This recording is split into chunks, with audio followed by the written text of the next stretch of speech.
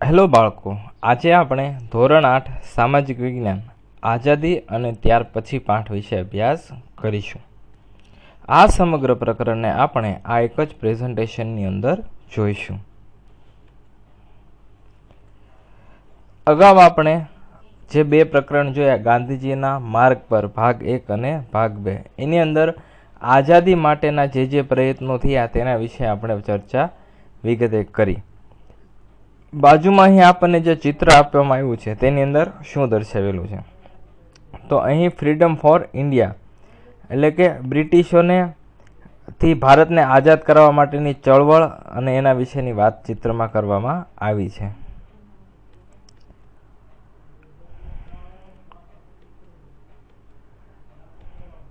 અહીં આપણને જે બે નકશામાં પાકિસ્તાન કેમ બતાવવામાં આવેલ છે અને શું પાકિસ્તાન બે છે? તો આપણને ખ્યાલ છે કે શરૂઆતમાં જ્યારે દેશના ભાગલા પડ્યા, ત્યારે ભારત અને પાકિસ્તાન બે દેશ હતા અને ત્યારબાદ બાંગ્લાદેશનો ઉદ્ભવ થયો હતો. અહીં એક આપણને ચિત્ર આપવામાં આવેલું છે. એની અંદર આપણને મુસ્લિમ સાઇટ્સ અને હિન્દુ કિંગડમ વિશે ચિત્રમાં દર્શાવવામાં આવેલું છે.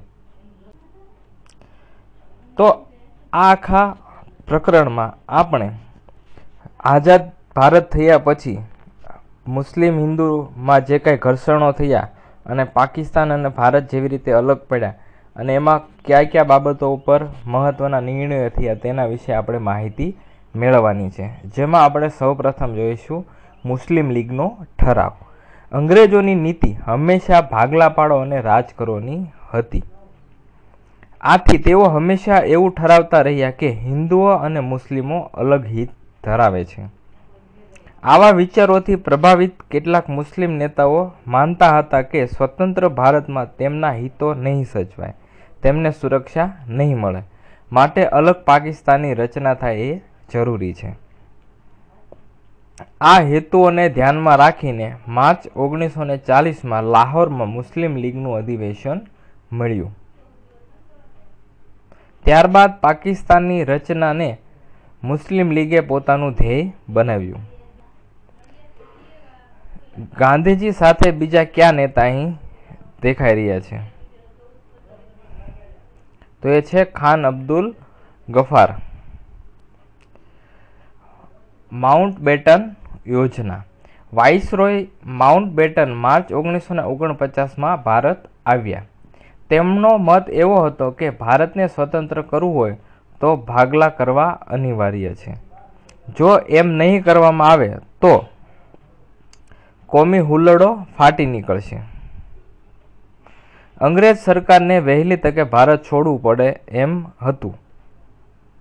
આ સંજોગોમાં ભારતના કેટલાક વાસ્તવદર્શી નેતાઓએ આ વાતને સ્વીકારી લીધી.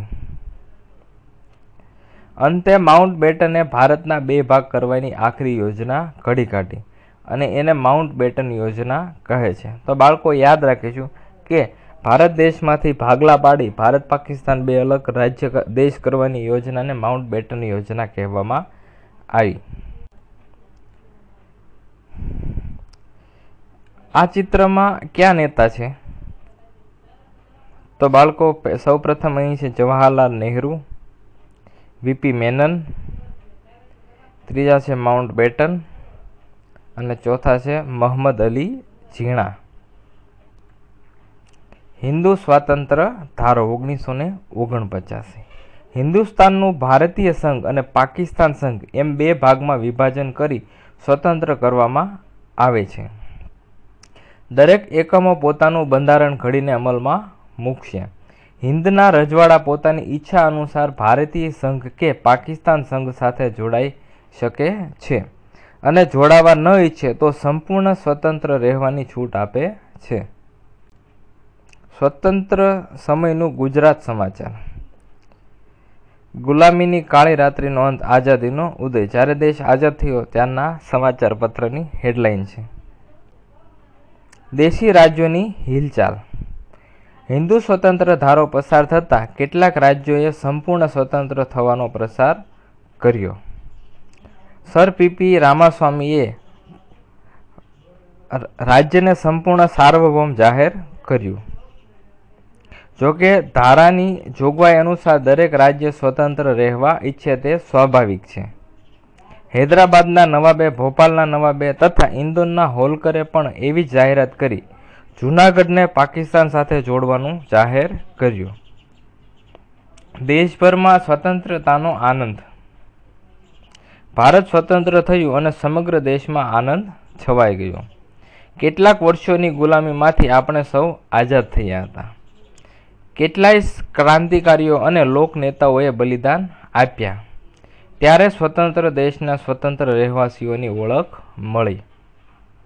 ભારતના પ્રથમ વડાપ્રધાન તરીકે જવાહરલાલ નહેરુએ દિલ્હીના લાલ કિલ્લા પરથી બ્રિટનનો યુનિયન જેક ઉતારી તિરંગો લહેરાવ્યો. આખો દેશ સ્વતંત્રતા પ્રાપ્તિની ઉજવણીમાં રંગાઈ ગયો. અહીં આપણને જવાહરલાલ નહેરુ અને શ્રી વીપી મેનનનું ચિત્ર આપવામાં આવેલું છે.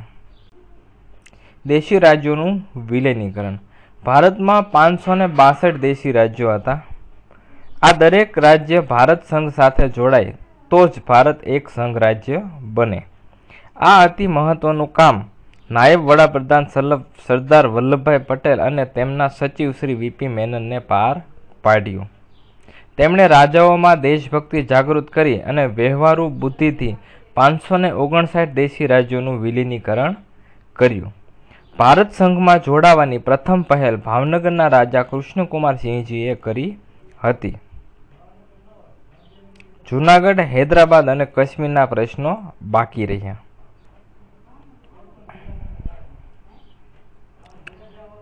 ગાંધીજીની સ્મશાન યાત્રા. ગાંધીજીનું જ્યારે મૃત્યુ થયું, ત્યારે જે સ્મશાન યાત્રા નીકળી હતી, એનું આ ચિત્ર અહીં દર્શાવ્યું છે. તો ગાંધીજીની હત્યા. હજુ ભારત સ્વતંત્ર થયું, એને પૂરા છ મહિના પણ ન હોતા થયા અને સમગ્ર દેશ ઊંડા શોકમાં ગરકાવ થઈ ગયો. ભારતના ભાગલાના સંદર્ભમાં કોમી રમખાણો ફાટી નીકળ્યા. આ કોમી રમખાણોને રોકવા ગાંધીજી ઉપવાસ ઉપર ઉતર્યા. લોકોને શાંતિ રાખવા અપીલ કરી. આ દરમિયાન ત્રીસ જાન્યુઆરી ઓગણીસો ને અડતાલીસના રોજ ગાંધીજી બિરલા હાઉસમાં પ્રાર્થના માટે જતા હતા, ત્યારે નથુરામ ગોડસે નામની વ્યક્તિએ ગાંધીજીની હત્યા કરી નાખી. નિરાશ્રિતોનું પુનઃવસન અથવા તો પુનઃ વસવાટ લાખો લોકો પાકિસ્તાનથી ભારત આવ્યા હતા. તેમના વસવાટ અને રોજીરોટીની જવાબદારી ભારત સરકારે કુનેહથી નિભાવી. વિશાળ શરણાર્થી શિબિરો ખોલવામાં આવી. તેમને માત્ર ખોરાક અને રહેઠાણ જ નહીં, પરંતુ પ્રેમ અને લાગણીની પણ જરૂર હતી. લોકોએ અને સંસ્થાઓએ સૌને સહકાર આપ્યો. તેમણે પોતાની નવી જિંદગીની શરૂઆત કરી. ભાગલા સમયે લોકોની હિજરત. જ્યારે ભાગલા થયા, ત્યારે લોકો એક સ્થળેથી બીજા સ્થળે જે ફર્યા હતા, એનું અહીં એક ચિત્ર આપણને દર્શાવ્યું છે. ભારતનું બંધારણ અને તેનો અમલ. ઈસવીસન ઓગણીસો ને છેતાલીસમાં ભારતના બંધારણની રચના કરવામાં આવી. બંધારણ ઘડિયાની પ્રક્રિયા ડિસેમ્બર ઓગણીસો ને ઓગણપચાસ સુધી ચાલી. તે માટે અગિયાર સત્ર અને એકસો ને છાસઠ દિવસ થયા. બંધારણ સભાની બેઠકો દિલ્હીમાં યોજ- યોજિત થતી. બંધારણની મુસદ્દા સમિતિના અધ્યક્ષ ડોગા ડૉક્ટર બાબા સાહેબ આંબેડકરને નિમણૂક કરવામાં આવ્યા. તો બાળકો, આપણે યાદ રાખીશું કે જે મુસદ્દા સમિતિ બનાવવામાં આવી હતી, એમના અધ્યક્ષ ડૉક્ટર બાબા સાહેબ આંબેડકર હતા. બંધારણ સભાના અધ્યક્ષ રાજેન્દ્ર, ડૉક્ટર રાજેન્દ્ર પ્રસાદને બનાવવામાં આવ્યા. બંધારણ તૈયાર થતાં બંધારણ સભાએ તેને છવ્વીસમી જાન્યુઆરી ઓગણીસો ને પચાસના રોજથી અમલમાં મૂક્યું. અહીં આપણને બે ચિત્ર આપવામાં આવેલા છે. ચક્રવર્તી રાજગોપાલાચારી અને ડૉક્ટર રાજેન્દ્ર. આજના આ સમગ્ર પ્રકરણમાં આપણે મુસ્લિમ લીગ, માઉન્ટ બેટન યોજના, હિન્દ સ્વતંત્ર ધારા, દેશી યોજના, ગાંધીજીની હત્યા અને ભારતના બંધારણ વિશે માહિતી મેળવી.